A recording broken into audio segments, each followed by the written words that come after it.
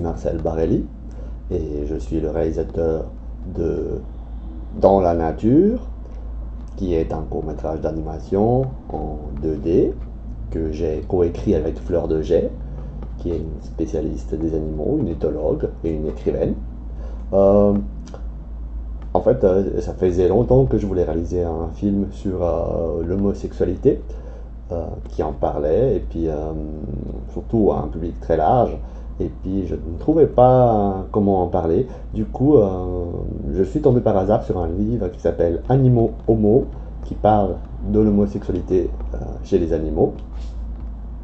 Voilà et qui est écrit par Fleur. Et du coup, ben, je me suis dit, ah voilà, c'est une bonne euh, porte d'accès pour en parler.